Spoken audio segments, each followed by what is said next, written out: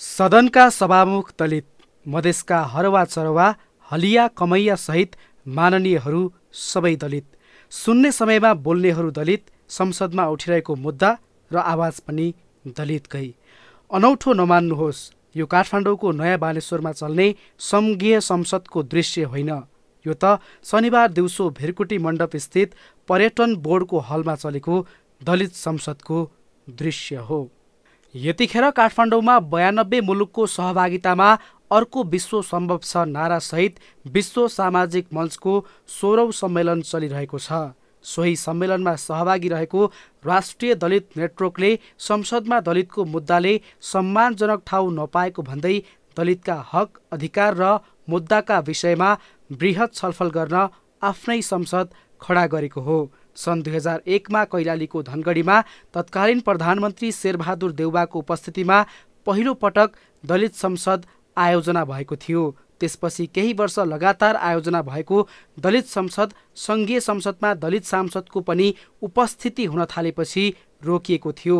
तर संसदमा केही सङ्ख्यामा दलित सांसद भए पनि उनीहरूको आवाज नसुनिएको महसुस भएपछि सडकबाट आफूहरूले फेरि बेग्लै संसद खडा गर्न बाध्य भएको दलित संसदमा सभामुख बनेका राष्ट्रिय दलित नेटवर्कका अध्यक्ष गणेश विश्वकर्माले बताए। संसदमा दलितको मुद्दा राम्रोसँग छलफल हुँदैन। त्यहाँ भए पनि एक दुईजना मान्छेहरू हुन्छन् र तिनले जाने आफ्ना कुरा उठाएको त्यहाँ लागु हुँदैन। त्यसो भने हामी हाम्रा एजेन्डा हामी हाम्रो संसदमा छलफल गर्न चाहन्छौँ। संसदले दलितहरूका सम्बन्धी संविधानमा जे कुरा लेखिएका छन् ती कुराहरू सम्बोधन गरेन।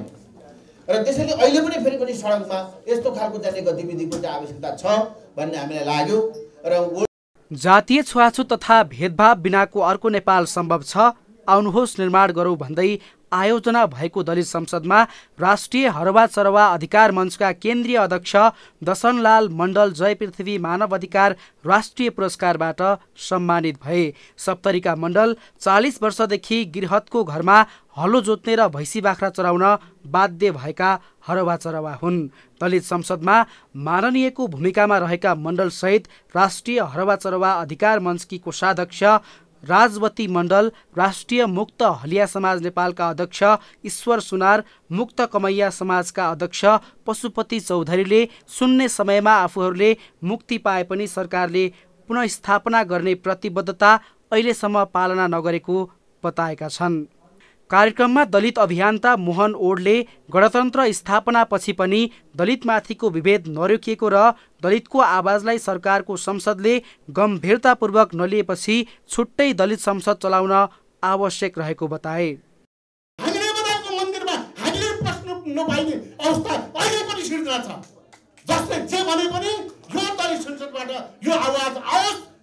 आवाज आवाज आवाज यो मुद्दा अगाडि बढोस् र त्यति मात्र होइन राजनीतिक हिसाबमा पनि हामीलाई विभेद गरेको छ। अब राजनीतिक हिसाबले पनि यो मुद्दा अगाडि आओस् यो छलफल होस् भन्ने धारणा हरवा चरवा सम्बन्धी विधेयक प्रस्ताव भएको दलित संसदमा संविधान सभा सदस्य एवं मुक्त कमैया कमलरी हलिया तथा हरवा चरवा सम्बन्धी अध्ययन समितिका संयोजक प्रमुख वक्ता थिए। दुई घण्टासम्म चलेको दलित संसदमा पूर्व सांसद मिरा जैरू संविधान सभा सदस्य हरि शेर्पाली लगायतले पनि माननीयको भूमिकामा बोलेका थिए।